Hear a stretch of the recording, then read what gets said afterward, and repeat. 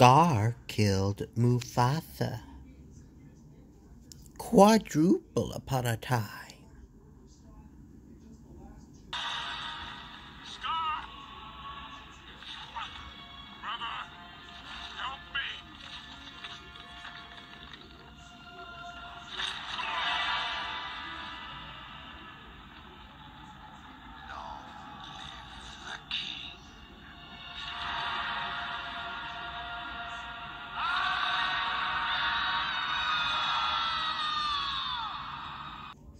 And they all lived happily ever after.